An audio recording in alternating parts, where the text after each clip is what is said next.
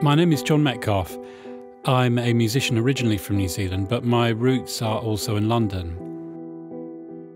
I lived there for most of my life, quite near where my father and grandfather grew up. One of the memories of my father, and one of the conversations I didn't get to have with him, was when I came home from school and found him lying on the floor. As an 11 year old, I guess I was in shock and didn't know what to say to him.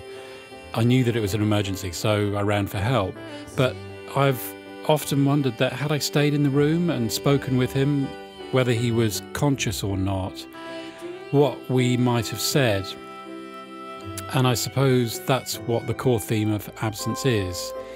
It's about conversations we have with the people closest to us, both real and the imagined ones that we have with ourselves once those people are gone. Because I wanted it to primarily be a band record, we got into the studio quite early.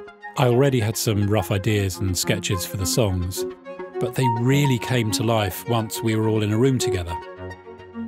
I've known Ali Friend for a long time now, and he is one of the most amazing and inspirational bass players and musicians that I've ever worked with.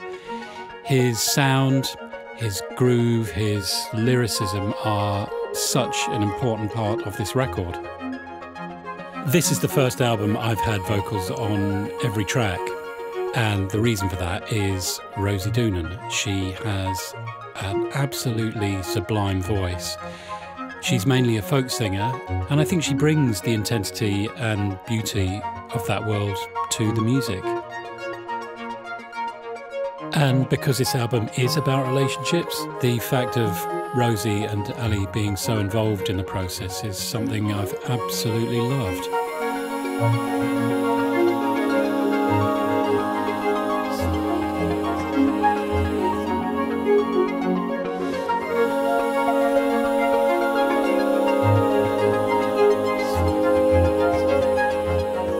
Musically, I've tried to reflect the huge range of emotions we feel when dealing with things like separation and loss. But ultimately, I'd like to think that absence is about love, about hope, and the way we keep loved ones with us throughout our entire lives.